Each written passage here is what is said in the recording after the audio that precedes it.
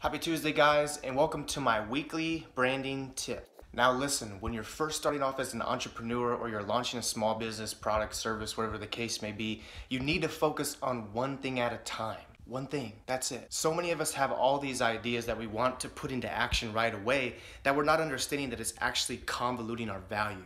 I had a potential client I had to deny that wanted to do design, workshops, guest speaking, photography, and worst of all, she wanted to be a social media influencer. Like, that stuff drives me crazy.